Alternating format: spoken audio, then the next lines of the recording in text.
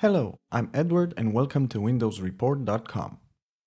In this video, I will show you how to install Windows Movie Maker. Windows Movie Maker is probably still one of the easiest software to edit videos and make your own movies. First of all, we need to download the setup file and you will find a download link in the description below. Then, once you downloaded the setup file, all you have to do is click it.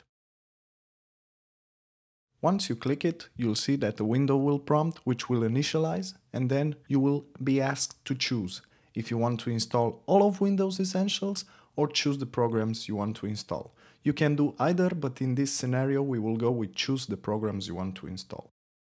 Then you will have to deselect all the other options except the photo gallery and movie maker.